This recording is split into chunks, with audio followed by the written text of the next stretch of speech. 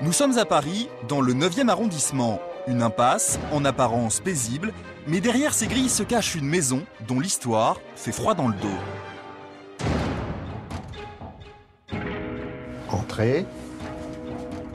Malgré son air obscur, Jean-Jacques, l'actuel propriétaire, préfère d'ailleurs ne pas vivre ici. Il faut dire qu'avant lui, tous les occupants de cette maison auraient été frappés par une étrange malédiction. Le premier de la liste, c'est le compositeur Victor Massé, décédé en 1884 d'une terrible maladie qui, un siècle plus tard, emportera à son tour l'écrivain Mathieu Gallet. Étrangement, il a eu la même maladie que Victor Massé, c'est-à-dire la maladie de Charcot. Alors, est-ce que c'est une coïncidence? Personne n'en sait rien. Mais l'histoire ne s'arrête pas là. Troisième décès inexpliqué, celui d'une femme de chambre retrouvée assassinée en 1930 dans l'escalier principal. Alors on a retrouvé cette pauvre femme ici dans l'escalier, assassinée à coups de pique-feu.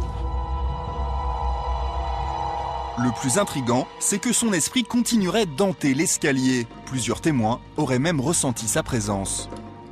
Ils ont eu l'impression qu'il y avait quelqu'un derrière eux dont ils sentaient le souffle et euh, dont ils entendaient le bruit des pas. Ils se sont retournés, il n'y avait personne. Peut-être pas faire de bruit, on va peut-être l'entendre. En France, les maisons hantées comme celle de Jean-Jacques ne cessent de faire parler d'elles. Apparitions de fantômes, manifestations spirituelles, phénomènes paranormaux, des événements particulièrement troublants et dont les témoignages se recensent par milliers sur Internet. Ma fille a été victime d'une âme malveillante pendant 7 mois. Je suis possédé par un esprit maléfique. Ma femme a eu l'impression de voir une ombre plusieurs fois dans la maison. Alors les esprits sont-ils réellement parmi nous? Faut-il y croire? Pour la majorité des Français en tout cas, il ne s'agirait que de vulgaires canulars. Il y a des gens vraiment qui croient au Père Noël, au miracle. Bon, bah, grand bien leur fasse si ça les soulage. Mais moi. Non, non, je suis très cartésienne, alors je, je crois ce que je vois. La maison hantée, non, vous me faites rire. Allez, je vous laisse parce que je vais faire bon marché. Si certains en rient encore, pour Stéphane Alix, le fondateur d'un très sérieux institut de recherche, aucune expérience scientifique ne permet d'affirmer avec certitude que les esprits n'existent pas. Ce qui est intéressant dans les récits d'expériences extraordinaires, c'est-à-dire tout ce qui concerne un peu le paranormal, c'est que vous avez des, des, gens qui peuvent inventer des récits, qui peuvent euh, fabriquer de toutes pièces des expériences, euh, mais vous en avez aussi qui vivent des choses de façon tout à fait sincère, qui sont traumatisés par ce type d'expérience, qui ne comprennent pas. C'est ça qui est intéressant. C'est que personne ne peut vous apporter de réponse. Une réponse, Jean-Jacques aimerait bien en avoir une. Aujourd'hui, il a donc fait appel à Eric Ferson. Bonsoir. Bonsoir. Enchanté.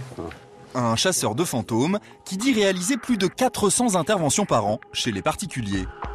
Vous sentez une, une présence dans les murs, enfin une, une charge émotionnelle C'est clair que quand on rentre dans, dans l'immeuble, on sent c'est palpable, euh, presque.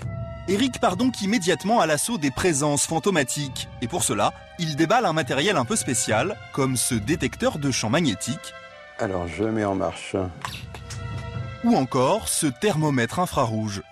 On sait que quand un fantôme hein, euh, ou un spectre, un esprit se manifeste, il a tendance à, à faire chuter la température. Parce qu'un fantôme a besoin d'énergie pour se manifester.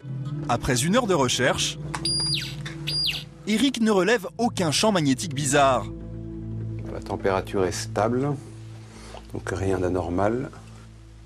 Différence d'un degré parfois. Mais... mais tout d'un coup, dans l'escalier, l'assistant photographe constate un curieux dysfonctionnement de son matériel.